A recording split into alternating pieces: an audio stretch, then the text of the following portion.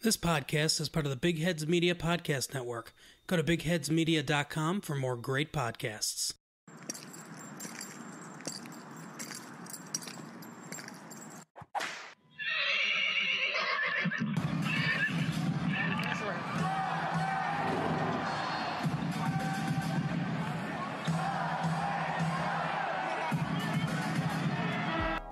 You are listening to a Bucking Spurs podcast. I am your host, Roberto Trejo Jr. This episode is very special, near and dear to everyone's hearts in Spurs Nation. It's a tribute to Tony Parker, the man on the court and the man off the court, what he's done for our organization that's going to be paying dividends for years to come.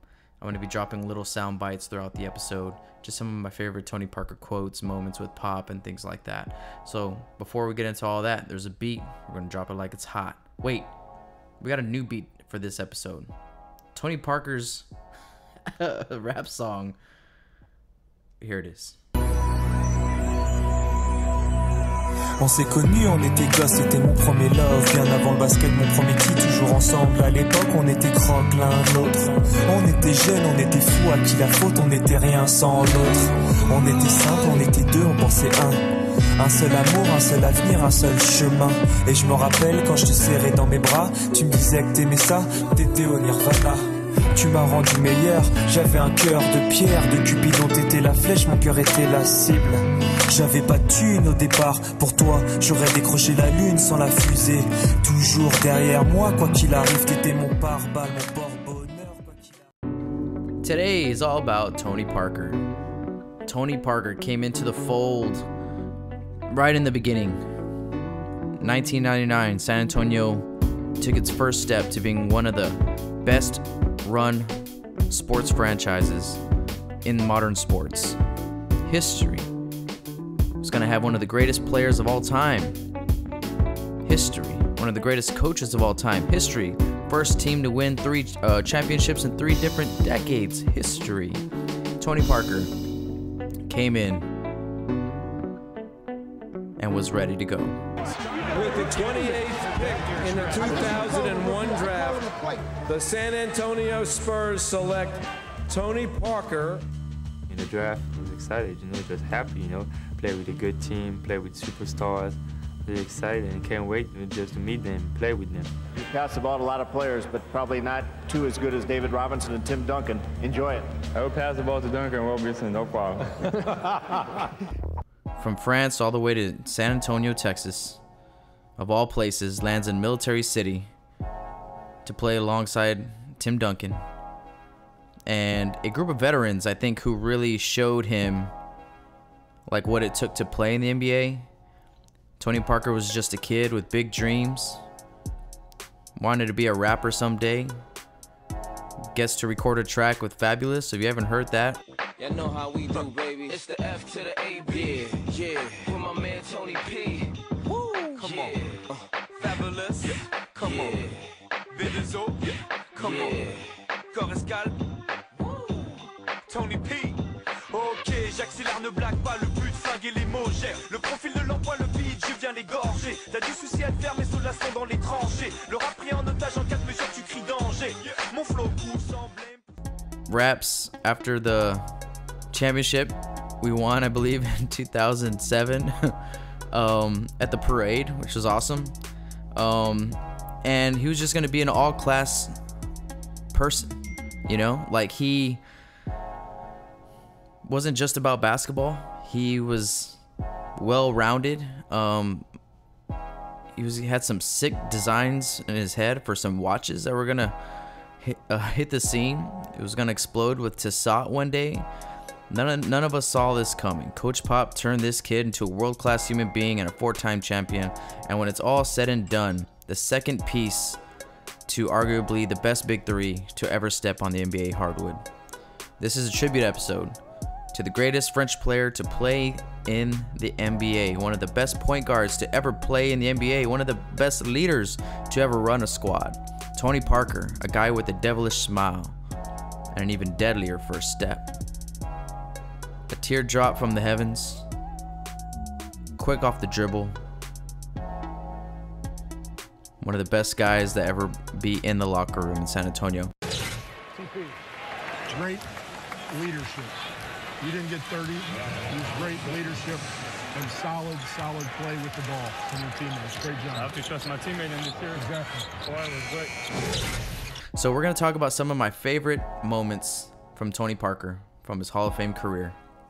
I think first off, I want to talk about his rookie season. Uh, his rookie season were full of ups and downs, and he was he ta- he's really open to talk about how Pop was hard on him. Pop was so hard on him, not only on the court but off the court. When I was a rookie, uh, Coach Pop helped me a lot. It was really hard on me my first couple of years. It was always hard for me to be the leader. But it's different now. He trusts me a lot more. He's giving me a lot of responsibility. Just play the game. Whatever you see, do it. He's the best coach for me uh, in the NBA history. Some of us are more gifted than others. and um, you know he was a kid. That's why it's like, guys, when we have these young guys now, like Dejounte Murray and Derek White and and and Lonnie Walker, these guys are just kids, and and we were, don't forget how Tony Parker had to take his time to develop, had to take his time to become uh, a mature NBA employee, if you will.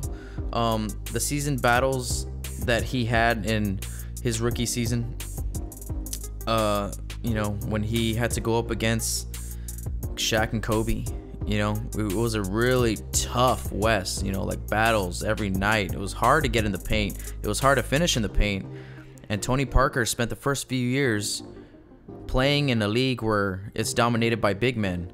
And I think once the league started shifting, Tony Parker took that experience and became one of the most dominant paint uh, finishers to ever play in this game.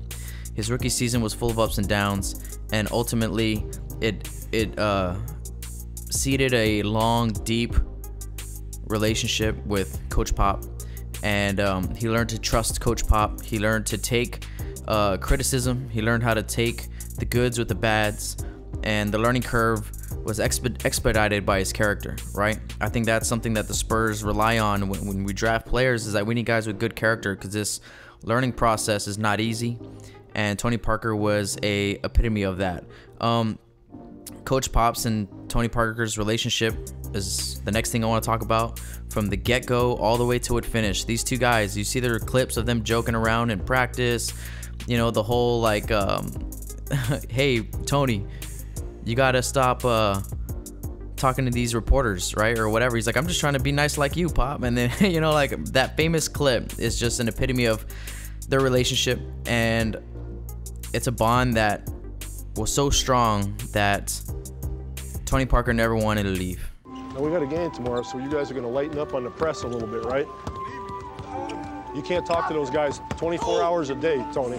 I don't care if they're from Paris or not, right? All they want is a story. You want to win basketball games, so you can spend some time on the game and not all those people. like you, Pop. I'm just trying to be nice with your You helped me uh, becoming a, a, better man on and off the court, and um, that's why I love being here because you know you care about us, and it's not just about you know basketball. And it's very rare uh, in our business to have somebody like that. You know, when I talk to all the other guys around the league and in Europe, it just doesn't exist. You got as much talent as Tony Parker and myself. Yeah. Do we still have to do all this stuff? Yeah. Because it's a team thing, right? Tony. Some of us are more gifted than others. No, but it's a team thing. And welcome everybody to what? Wait, Brian, what are you doing? Oh yeah, that's right. We're supposed to be recording a promo here, aren't we? Um, aren't you supposed to tell people where they can find us? Yeah, we're What the Hops podcast based out of Buffalo, New York. We like to talk a lot about beer, a little bit about music, and all sorts of random things. So be sure to go find us wherever you get your podcasts and hit up all your social medias and search What the Hops and hit that like button. Cheers. There was times where Tony Parker could have left to take more money, never did. All right, let's talk about the 2006 to 2009 Tony Parker, where he was dominant. Um, that's when the game started to shift, right? From being a paint big man oriented league to uh, maybe a more mid-range game. It wasn't a three-point league yet, right? But Tony Parker was able to get his mid-range jump shot wet because we had known 2006 he was one of the best finishers in the league, but it wasn't until that year where he started to really be consistent on that mid-range jumper. You know what it is, man. I mean, he just he'll take you off the dribble, one, two dribbles, boom, pull up, mid-range jumper, a little bit off of the off of the free throw line wing, um, and he was able to knock it down over and over and over again. I mean, during this year, um, this little span, 06 through 09 was when we, he won a championship, right? In 2007 MVP. Um, he led us against Cleveland. That was another big moment for Tony Parker, being the first European player to win a Finals MVP. Um, you know, uh, Dirk came in a little bit after and did his thing, but Tony Parker was the first guy. I think Manu maybe should have been the first guy in 05, but hey, I'm, I'm not mad with, with Timmy taking it. Um, but that 2007 finals, Tony Parker's stats were uh, the best in that finals. LeBron James averaged, I think, like 21 points. I think Tony Parker averaged 22. Um, he led the, the the the finals in field goal percentages. I mean, he was able to get to the rim whenever he want. There was no one who can guard him that year. Tony Parker just as good as any point guard in the league. He's so talented. He's so good with the ball. He can get wherever he wants to to score every time he wants. Boy, he's so crafty. The head fake, his speed, his quickness, he's just tough. One of the best finishers from the point guard position that has ever played. Parker double clutches and scores. Jefferson came over to help, and they still couldn't stop Tony Parker. One of the key of my success is my teardrop. Here's Parker with the teardrop. Wow, has he perfected that move? I've been doing that since I'm small. It was the only way I can get a shot off the big guys. That shot is devastating. So I try to do that in the NBA, and it's been a great weapon for me. The teardrop by Tony Parker, one of his specialties. And that 2007 uh, season was another big season with the Parker versus Nash duo. Let's talk about that. Tony Parker versus Steve Nash. Every time those guys met, if it was in the regular season or if it was in the uh, the playoffs, they were epic battles, Hall of Fame games, you know, uh, hardwood classics. You know, those games are are epic when you have two point guards who are in their primes and doing whatever it is they want to do at will. Um, they had no one to stop Tony Parker. Uh, we had a hell of a hard time trying to stop uh, Steve Nash. Uh, Bruce Bowen was the guy who locked him up in the playoffs, but there was many times where Steve Nash would just go off on us, just dropping dimes, dropping dimes, and Tony Parker could not be stopped. Okay, so Tony Parker was a guy that uh, that not only had great battles with other point guards like Steve Nash, but let's talk about Chris Paul, like the New Orleans Chris Paul, right? So I mean, we could talk about the Clippers Chris Paul too. It all it all ties in. Those two guys were kind of uh, linked together, Chris Paul and Tony Parker. I think that was a uh, a grind of a battle. Two tough guards who who like to guard each other. You know, usually Tony Parker won't guard the point guard, but uh, or guard the point guard if he's the best player. He's off, you know, guarding Thabo Sefolosha and whoever's not contributing on the other team's offensive side of the ball. Uh, but those battles were epic too. Chris Paul versus Nash. Chris Paul versus, I'm sorry, Tony Parker versus Nash or Chris Paul. Man, those are two of my favorite battles. Whenever we'd go up against those two teams. Um, the HEB commercials would not be nearly as funny without Tony Parker in them. He provided levity, and Tony Parker's a natural on camera. Uh, he has such great comedic timing in those commercials. He understands that sometimes he's you know he's he's the guy that we're laughing at just because of what he says or how he says it with his accent or whatever and he embraced it um, made those commercials way better than they should have been. Uh, countless countless commercials that i'm sure we're gonna get more now him being part of that retired group. Uh, you know like sean elliott george gervin david robinson tim duncan manu those guys are gonna be like that the retired uh, heb uh, crew and i can't wait to see those commercials drop um, the 2013-2014 championship run, I I don't want to throw away 2013 because we just because we didn't take home the championship. Tony Parker was still deadly, deadly in that in those two series in 2013 and 14. I mean, talking about 11, 12 years in the league, but I mean, come on, man. Tony Parker had a relatively short career because he came in so young and he put on so many miles, uh, you know, on his legs because we are in the playoffs every single year that we had Tony Parker. You know, we only got, we only didn't get out of the first round maybe once, maybe two times. I'm not sure while Tony Parker was there. Tony Parker was the leader on those 13, 14 teams. Um, he was willing, just like Timmy was willing and Manu was willing to take a lesser role and let someone else take take up the slack. And, and we're talking about Kawhi Leonard. Um, Tony Parker was that guy. Tony Parker was able to to lead us um, in timeouts or in the locker room or on the court. Uh, he started, never came off the bench. Um, even though, yeah, he wasn't 2006, 2007 Tony Parker anymore. He was still a guy who can kill you on the offensive end when he needed to, but he just didn't need to that much at that point. We were playing a different style of basketball. Uh, we are moving the ball a lot. I mean, y'all remember, it's a beautiful game, right? Um, so the the 13-14 run was epic from Tony. Tony was a huge part of that, and of course, winning our last championship that we won, 2014. Tony Parker was able to take a back seat and lead by example. Doesn't need to score, didn't need to be the playmaker sometimes, but he led by example. And that's how we were able to get that championship in the books. After my first few episodes, some of my newfound fans called me a lore master, which was an honor and so epically cool. But the thing is, I desire to be known as the lore master. So, this is the tale of the rise of an epic podcast that critics say is redefining a genre. The tale of a man who decided that his calling in life was to give a future to the past. The saga of Arjun, your lore master. Come dream with me as we go deep into our stories.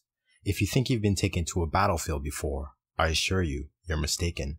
So take a deep breath, let it out slowly, put some smoke in the air if you choose, and prepare to let your mind flow to my voice as we go deep. Welcome to Deep into History, available everywhere. We're talking about the miles that Tony Parker put on his legs. Guys, we're not just talking about NBA basketball. We're talking about FIBA. Remember during the lockout year, he went to go play for ASVEL? the you know, Tony Parker has played so much basketball. That's why his career was a little bit shorter than most, but hey, that's fine, dude. Like Tony Parker didn't have anything else to prove. He was a four-time championship winner. Um, he's won uh, medals in the Olympic Games. never gold, never the gold, uh, but silver or bronze. I'm sure he came in a couple of those. Um, he was playing in World Cups year, summer after summer after summer for France, playing with Boris Diaw and, and Nicolas Batum and, and Gobert and all those guys every summer.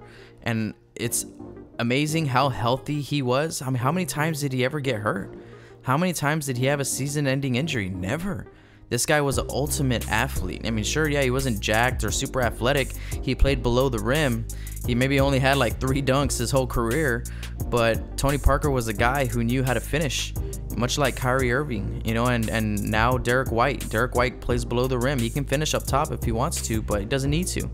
Tony Parker was able to play so long because he wasn't using his athleticism as his number one tool. He was using his skill, his smartness, and um, sure, he wasn't the best def- uh, defender on our team, but we had a bunch of guys that can pick up the slack for him. Um, so it, it's a special, special run that he had. It's a Hall of Fame run because he's not just a great basketball player in the NBA, but he was a great Olympic athlete uh, year after year after year. Um, and I'll, now let's talk about what Tony Parker's done off the court. I mean, Tony Parker is the president of of a basketball organization in France.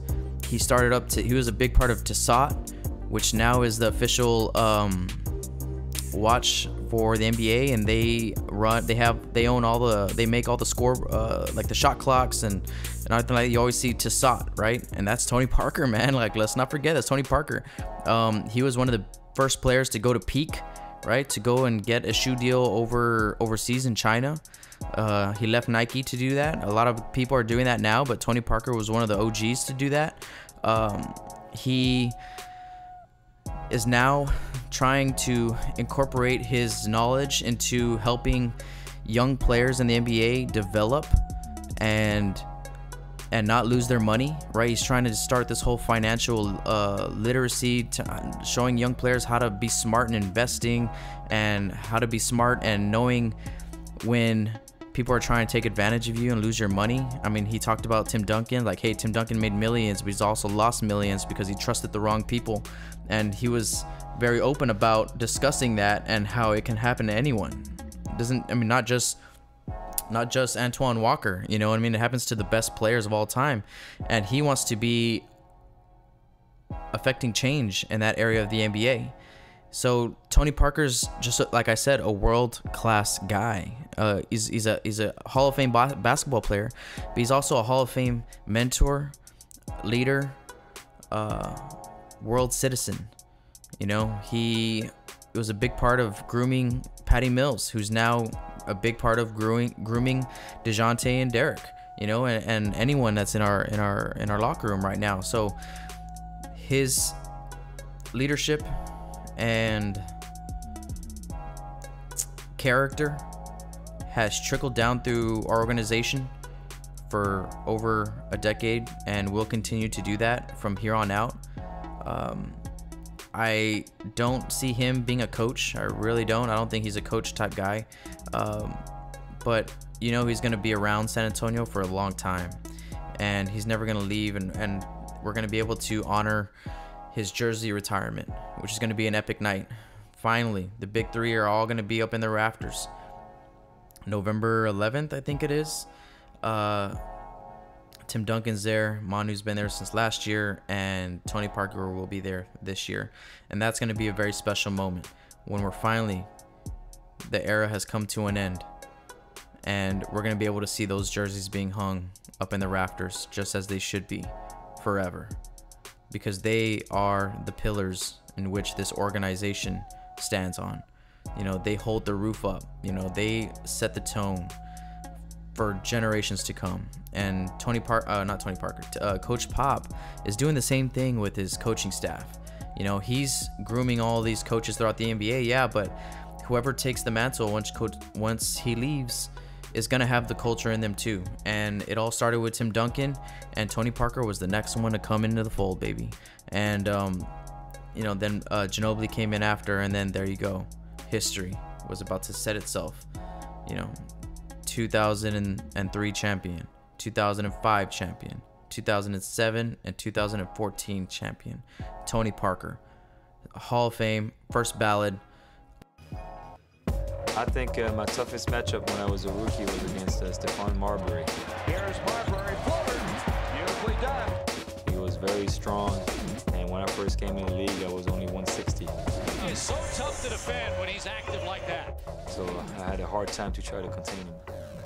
Diallo with the offensive rebound. Snaps it outside. Parker spins it up and in. And we're in trouble when we get to the launching pad. He is an incredible point guard, one of the best in the business. Parker inside. Pretty play from Tony Parker. For my game to get better, I still want to improve on my three-point shot. Parker has to launch it. Oh, Tony Parker with a triple. Be more consistent on my decisions as a point guard. Tony Parker's talent is terrific. So quick, so good. This is the 28th pick back in 01. And my goal is always to shoot 50%. And so I think you can always improve in that. We have so many great point guards. It's just a wonderful argument, but he has to be in that argument. Tony Parker is kind of the guy who doesn't get a lot of love from the big three. I think when you're talking about fandom in San Antonio, when it comes to all time favorites, fan favorites, right? Tony Parker's not first, he's not second, he's not third. All right, so uh, number one is always going to be Tim Duncan.